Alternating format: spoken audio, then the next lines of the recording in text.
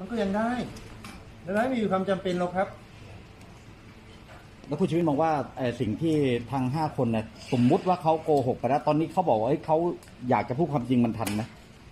ทัน แต่คุณก็ต้องโดนอย่างที่ผมบอกในการการให้การเท็จอืม เดี๋ยวไหมก็นั้นการให้การครั้งแรกเนี่ยคือการให้การที่สำคัญที่สุด อืม กระบวนการเริ่มต้นที่ตำรวจนี่คือการให้การที่สำคัญ เพราะเมื่อคุณโกหกไปแล้วกระบวนการเนี้ยมันจะส่งต่อไปทันที จากตำรวจส่งต่อไปอายการส่งต่อไปศาลเพราะฉะนั้นการโกหกครั้งแรกเนี่ยเป็นเรื่องสำคัญซึ่งโดยมากเนี่ย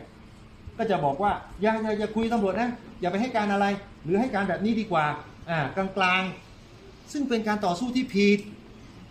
ผิดครับ การต่อสู้ที่ถูกคือการต่อสู้ที่การพูดความจริง โดยเฉพาะอย่างยิ่งคดีประมาทพูดจริงมากที่สุด เพราะยังไงไงก็แล้วแต่คุณต้องสู่ในกระบวนการเยียวยา คุณจะกินเหล้าเมา คุณจะเล่นยาเมา คุณจะทำอะไรแล้วแต่แล้วคุณเกิดอุบัติเหตุขึ้น คุณยอมรับตรงๆเลยครับ คุณไม่ต้องใช้ทนายเลยขึ้นศาลก็ยอมรับเลยครับศาลผมขอสารภาพครับวันนั้นผมเมาจริงครับ แล้วผมขับไป แต่ผมได้เยียวยาแล้วครับ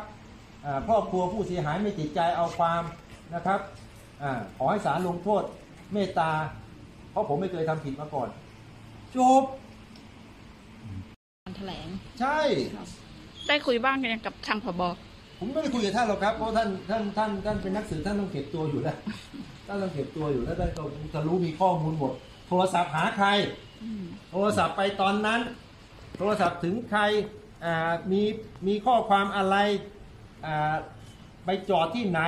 เดี๋ยวนี้กล้องมีหมด โทรศัพท์ดูดข้อมูลแป๊บเดียวมันก็จริงฮะเพราะฉะนั้นมันเป็นการสืบที่ไม่ยาก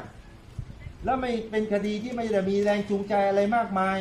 คุณไปล่องเรือแล้วมีการพัดตก แล้วคุณมีอุบัติเหตุ จะฆาตกรรมจะฆาตกรรมคุณเป็นเรื่องอะไร จะฆาตกรรมทำไมกลางแม่น้ำจะฆาตกรรมทำไมต่อหน้าคนห้าคนหกคน หรือว่าจะทะเลาะกันทำไม มันก็ไม่ถึงขนาดนั้น เพราะคุณยังมีร้องเพลงแล้วเกิดคุณทะเลาะกันจริง คุณก็ไปแค่ชาวบ้าน